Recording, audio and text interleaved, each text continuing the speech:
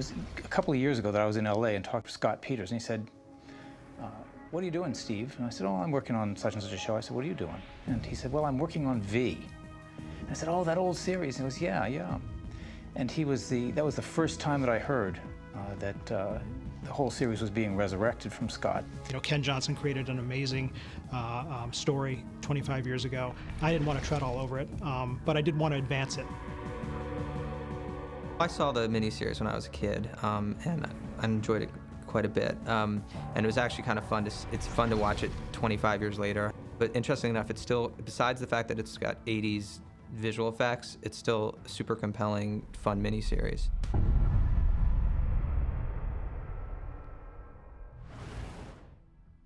Your initial instinct is just like, yes, this is amazing, I want to do it, I can't wait. And then, you know, some time sinks in and you realize, okay, now I actually have to go and do the job, and it isn't an enormous job. Um, you know, I'd never worked on a show before that had uh, such massive amounts of visual effects. We have these floating holographic screens. We have doors that open and close that are all visual effects. We have explosions.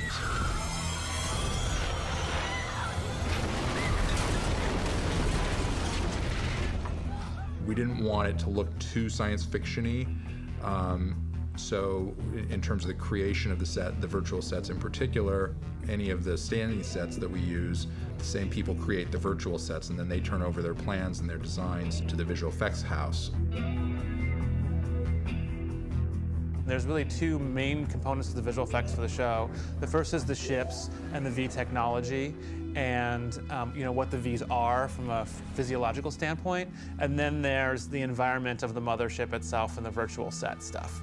We were fortunate enough to be involved very early um, in the process. Warner Brothers brought us in to look at the script very early on before it was even greenlit.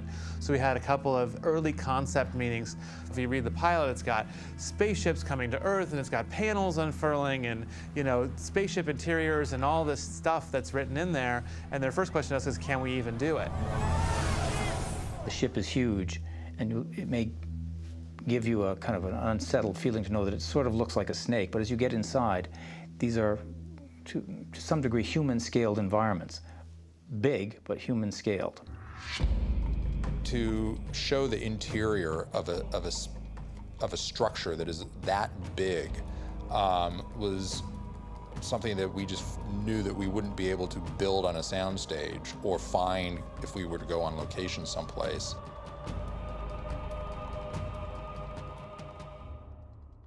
We talked about doing, you know, what we've done on um, other shows, which is building a portion of the set with a green screen plug, and you'd extend it. So there's practical stuff there, but there were so many sets it became impractical. And the way that the design started going is like, this is a huge ship. This ship is a half a mile across. So it was decided in the pilot that we were just going to go for it and shoot all the ship interiors on green screen and build them as virtual sets.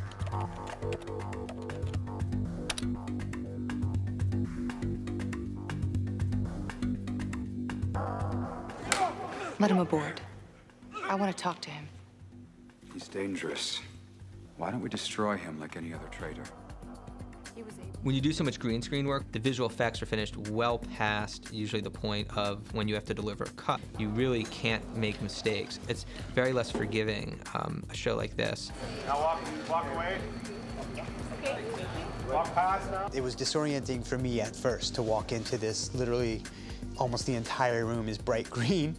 I mean, we rarely have anything in the space around us. It's such a large space to be acting in, and it's almost like you just want to like consume into yourself because you have so much space. It's overwhelming as an actor to not have the props.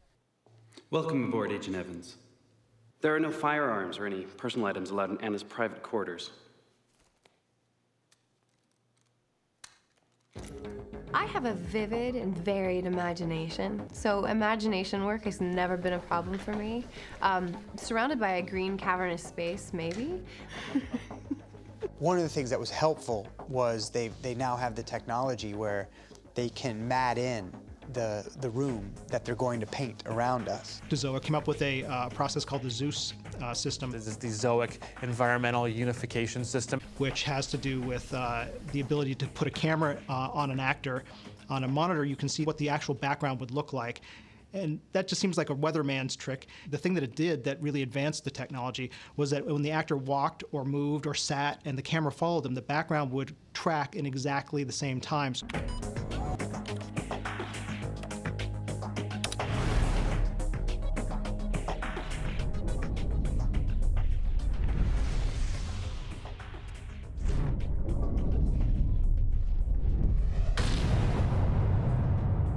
I guess I'll walk you upstairs to where uh, some of our 3D artists are Okay. working. Yeah, these are all our um, 3D and 2D artist boxes.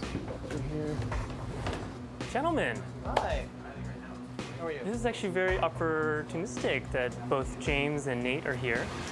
I'm Nate Overstrom, and uh, I'm a compositing lead and uh, 2D supervisor here at Zoic Studios. The Zeus system is uh, is capturing all the all the tracking data real time uh, while they're shooting. Basically, the, the camera's on a gyroscope that has a bunch of calibrated uh, lasers, so it looks up at the ceiling to see where it is on the on the set and whether or not you're rotating the camera down or around and whatnot. So we can transfer all the uh, tracking data um, without them having to uh, uh, retrack from hand as much. I've asked a lot of you with Tyler. You've handled it well. Uh, we had I don't know 18 shots in the sequence. Here's a here's a wide working chamber shot, and we're just trying to make sure that what we have uh, coming up matches this this look that we, that we put together. As you saw before, there was a the set didn't have much in the way of atmospherics. You saw uh, the bare bones version of the set. Most of these others are uh, the same color corrections and things uh, uh, applied to uh, 2D stills, and we used uh, very straightforward 2D tracking solutions to get most of these uh, close-up angles. So here, you know, it's pretty much the same same thing as a reverse angle as the other one. We still uh, did matte paintings for the submerged eggs and, and applied effects to uh, get them to uh, sit in the scene properly. Um, the only practical one is the one that she picks up. The rest of them were rendered out of 3D and or uh, reprojected in, inside a nuke. We're looking at it from a technical perspective as well as a creative perspective. We're talking about how they balance the lights and what's blown out and whether we add, uh, you know, atmosphere. We add a lot of atmosphere to these shots to give it the depth that we need. And we put all the flares and all the imperfections and the dust hits and all that kind of stuff, and we try to put that over the top of a lot of the shots we do to give it that feeling of realism.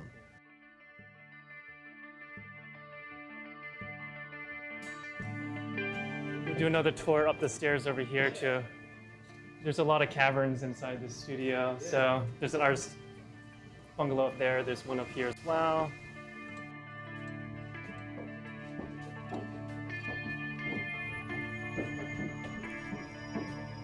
Hey Sal, how are you? We have another um, service, I guess, that we offer. It's called digital prosthetics.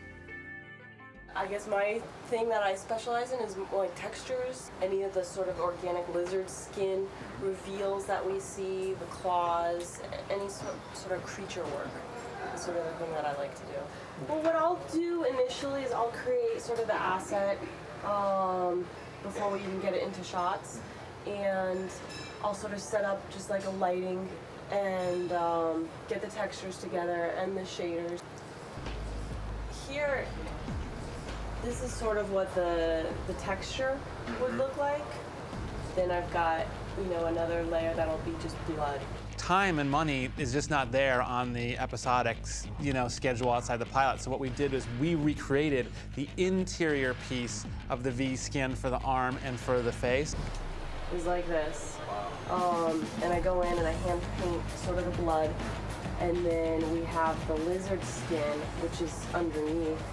I'm sure Toby talked to you about how to cast Dale's head and make a thing and, and open it up and then put another thing inside there. So we went to Toby's original material, took tons of pictures of the eyes and the skull, all the stuff in, in, the, in the arm, and then what we're doing now is we created a digital prosthetic piece. So he just has sort of a green screen Prosthetic. Uh, prosthetic, and then we've got the tear that's in working, that's being worked on right now. So what we've done um, for a lot of our other shows is worked really closely with prosthetics because there's no time to build any animatronics on the show. So anytime anything's moving, like when Ryan opens up his eye and you see that eye slide up, we're going to have to go ahead and, and, and, and make that happen. So here's the final composite that we delivered. We had our tracking department uh, uh, track his eyeball.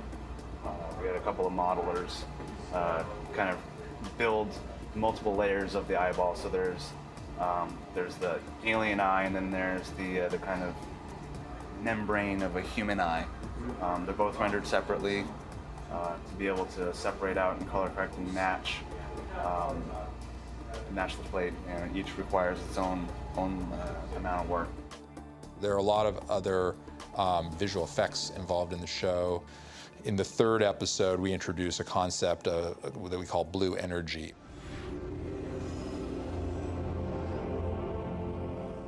Which we learn in the third episode is, is the power that runs the ship.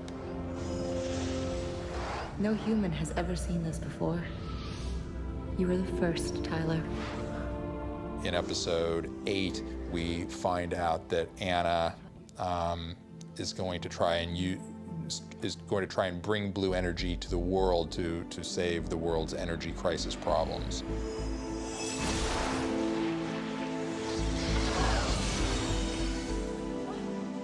So this is the um, blue energy sequence that we worked on. Had two particles, um, CG particles, people basically work on getting this blue energy look developed. So basically, um, Anna is demonstrating how they create energy. And we just got these plates from um, production, and everything that you see on top, we just you know created an, a composite on top all of the particles, all the blue energy is uh, 3D, came out in like three different layers, mm-hmm. and I put it together um, with a lot of different effects. And then in the final episode of the season, we'll also see another application of the blue energy where uh, it's actually turned against her. So we're able to take these these visual effect elements and kind of create a story around them.